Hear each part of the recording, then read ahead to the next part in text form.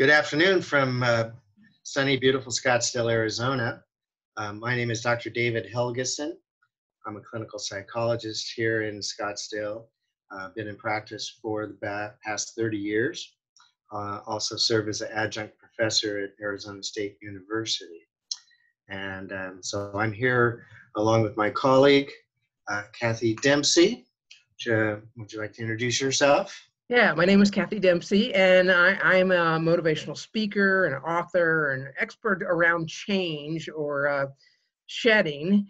And uh, some of you know me well, and we'll be seeing this on on one of the social media streams. Uh, but for those of you who don't, uh, see that on the back of my office here. And uh, shedding is just letting go of the old and embracing the new. And it, it has a um, a metaphor of a lizard that you see up there that if they don't shed, they die. So it's kind of shed or you're dead is the mantra. And uh, David and I wrote a book that that officially released in January, right? January this year, 2020. And little did we know when this came out, we had an we thought it was a complete list of 72 plus shed happens moments of things that occur to us, most of them we don't like, unexpected. But um, who would have thought just in a few weeks the coronavirus would have hit? Uh, I mean, one of the major shed happens uh, incidents, what, for many say, in their whole lifetime.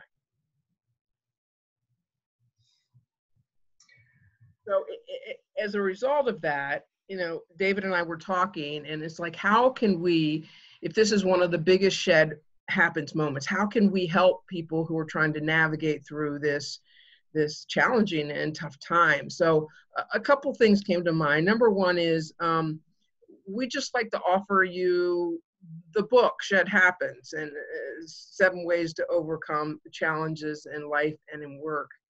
Um, and we'd like to offer free uh, in, until april 30th and so um, uh, we're going to tell you in just a minute how to, to, download that one free. And the second thing is we wanted to do just several short videos like we're going to do today and give you some tips and strategies that you can practically put into place to navigate the next few weeks or months or however long this is going to be with us. All right, so thank you, Kathy. So, you know, when 2020 started out for most of us, I would say the American people were as optimistic as they've ever been for decades. You know, the economy was booming, the stock market was uh, having all time highs, unemployment was lower than it had been in decades. You know, I think most Americans would say, wow, life is good.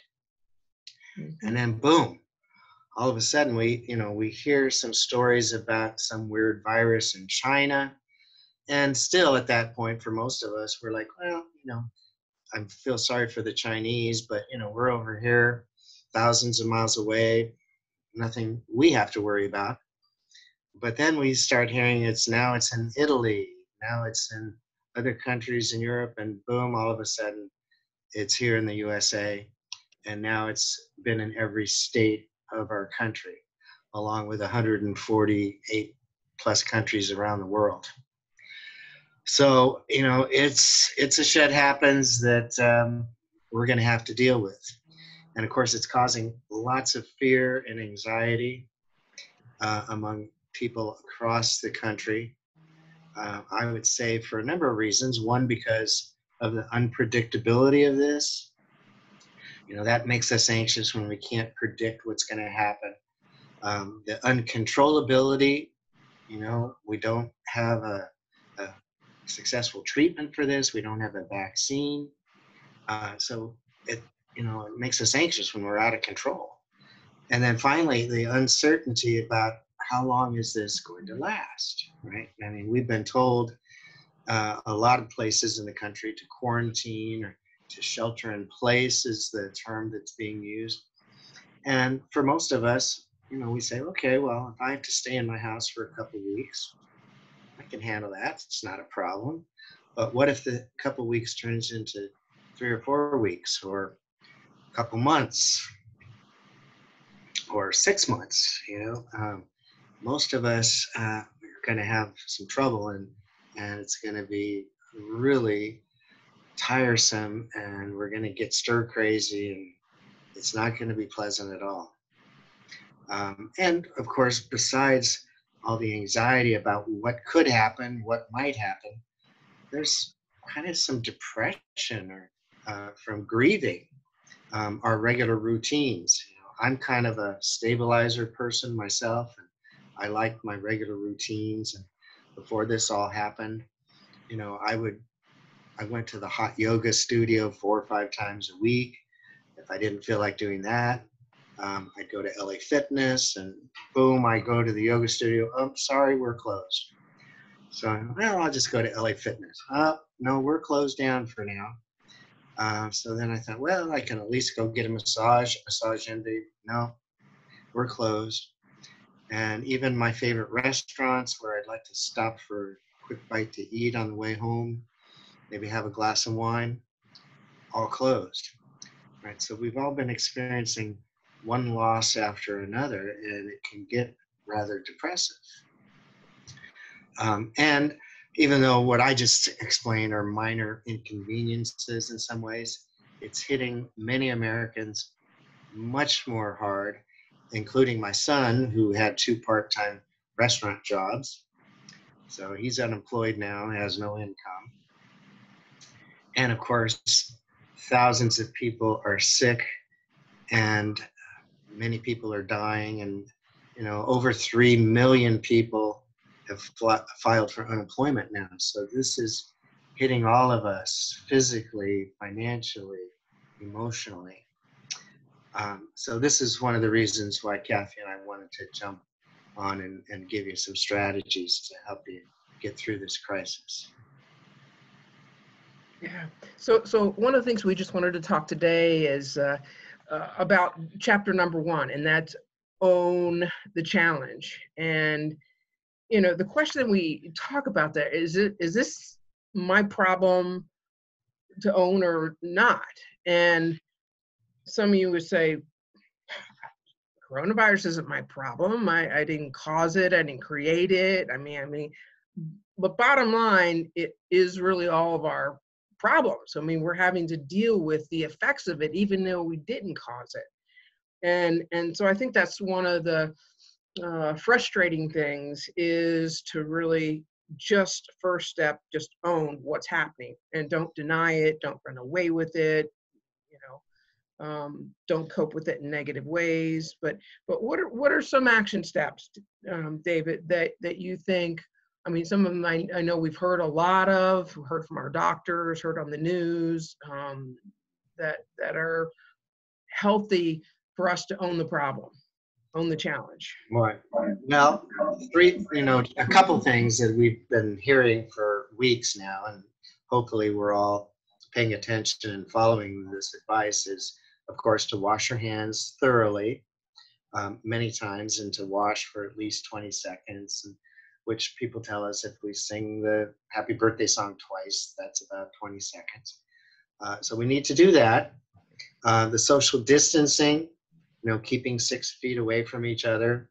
Um, I think people are, at least in my experience, trying to do that in most places. And, you know, I've tried to replace my yoga and my weight training by going out and hiking. And so far, they haven't closed the hiking trails in Arizona but they have been monitoring how many people they let on the trail. And whenever I would pass someone, uh, they would be very careful to stay six feet away. So some of the advice I'm giving my clients are to act as if you've already contracted the virus, whether you have it or not. And if you do that, you're probably going to engage in the proper hand washing. You're going to engage in the social distancing, probably stay at home more. Um, so if you do that, you know, you're not going to infect anybody if you have it. And of course, you're probably going to protect yourself in the process. Um, so those are, uh, you know, practical things we've all been told. Um, and then, you know, I would say, you know, develop an attitude of gratitude and be thankful. Um, most of us have lots of things to be thankful for. We have a roof over our head. You know, we've got plenty of food in our pantries to tide us over for a while. Um, so most of us are in pretty good shape. Yeah. And, and, and I think one of the things that we want to talk about in our next short video is, you know, not everybody though may have their pantry full or enough toilet paper or even a home. You, you see all these homeless people that um, um, are, are, struggling right now. And, and, and so the second chapter of Shed Happens is ask for help. Ask for help. So, so we'd like to talk about that a little bit um, on our next uh, short Shed Happens video. Uh, but let me tell you before we, we jump off here, uh, we talked about downloading the book free. You got that in, in for the next month. So if you go to kathydempsey.com, K A T H Y D E M P S E Y.com forward slash shed happens, plural, uh, it'll take you to the page. You can download the book free there and uh, share it with whoever you want to, as many times as you want to uh, we want it to be a, a resource to help you uh, during this this time.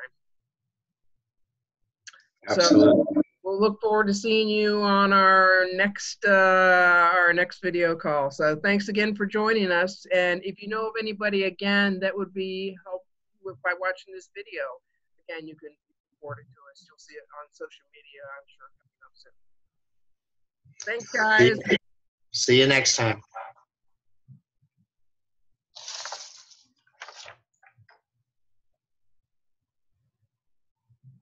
Okay. I think that went great. Okay, how come I'm still alive? Oh, I didn't leave me. Okay. Yeah, the only thing. Don't, you really left me.